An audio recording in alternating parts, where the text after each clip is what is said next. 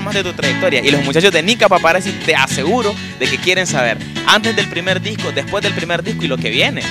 Me gradué de la universidad, estudié un poquito de jazz y recibí una llamada de una promotora que me conocía de una de las bandas y me dice, Mario, viene Mark Anthony y necesita un grupo latino para abrir local, es lo que pide el promotor. Entonces yo digo, bueno, dale pues, me apunto, porque ya me conocía por la otra banda y estábamos ahí enfrente de 30 mil personas en Nissan Pavilion abriendo para Mark Anthony. Ese fue el primer concierto oficial de esa casa, pues como solista. Pero ahí nacieron muchas cosas, porque después de ese concierto eh, grabé mi primer disco del sur eh, y la canción Quiero María, que está en ese disco, fue a ganar el premio mayor en la categoría latina del concurso de compositores de John Lennon. Y eso me abrió muchas puertas, pues, eh, para mi carrera, pues. Esos premios de los que de los que me has hablado no han sido los únicos. También tienes algo ahí, un reconocimiento junto a Plácido Domingo bueno, eh, son de Nicaragua.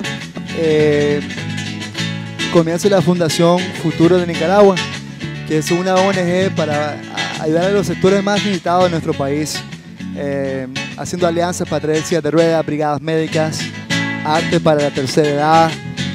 Y el año pasado eh, tuve el, honor de ir con, la banda a, Washington a estar junto a, a Placio Domingo que recibió un premio humanitario también, y también Juanes, que recibió un premio por su trabajo con su fundación eh, Mi Sangre.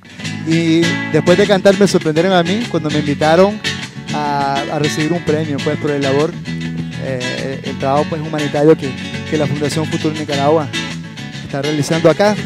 Y me sorprendió pues, y, la pasamos alegrísimo ahí con don, eh, Plácido Domingo. Eh, ¿qué, tip, ¿Qué tipazo?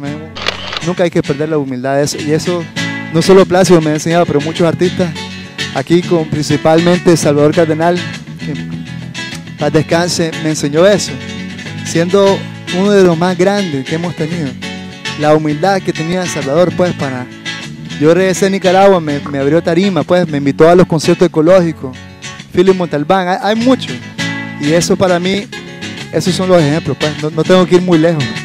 ¿Cómo comienza este sentimiento de enfocar tu carrera, de enfocar tu arte, tu música hacia lo que son las causas humanitarias. Entonces, ¿cómo nace esto de la, de la tu labor altruista en nuestro país? Creo que es una obligación que tenemos como artistas y como ser humano, pues. Y ser, ayudar a tu país no necesariamente tiene que ser con reales. Puede ser dando un ejemplo, pues. Cuando yo regresé a Nicaragua, estaba verde, pues, lo que era una ONG pero igual, igual que, he aprendido de muchos músicos y productores, he aprendido de directores de ONG que me han invitado a, acompañarlo, que me han enseñado cómo es. Eso es importante. por eso yo siempre tengo que felicitar el equipo de la fundación, que me costó conseguir un buen equipo.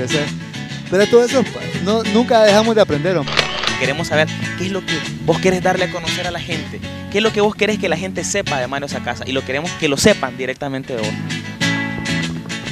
Pues más que todo, ver lo que uno siempre quiere hacer como artista y demostrar pues algo auténtico, ¿no? Algo, es lo que yo busco, pues yo busco a través de, los artistas que me gustan, es una propuesta auténtica.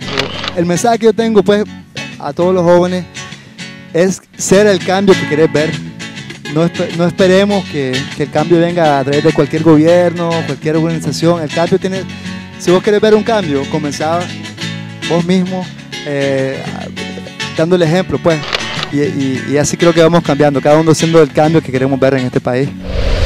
Bueno, un saludo a nicapaparazzi.com, aquí en un ensayo de esa casa. Nos vemos en el próximo concierto.